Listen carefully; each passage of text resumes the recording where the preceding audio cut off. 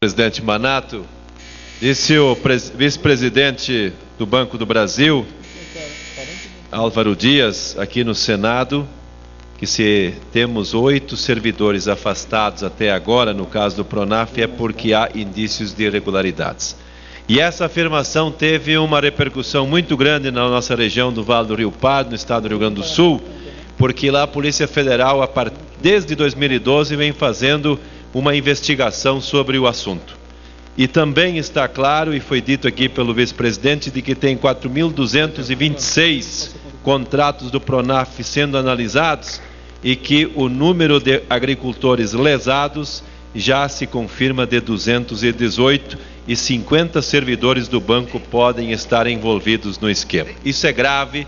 O programa é bom para o Brasil, para o desenvolvimento rural, para a agricultura familiar. Os bons não podem pagar pelos maus. O programa precisa continuar, senhor presidente.